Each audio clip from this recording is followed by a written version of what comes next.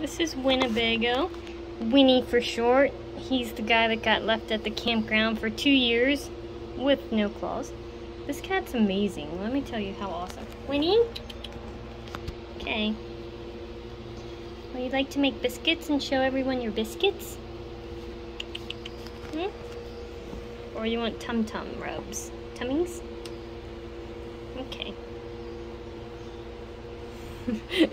Tummy rubs it is. So awesome. You're a good boy.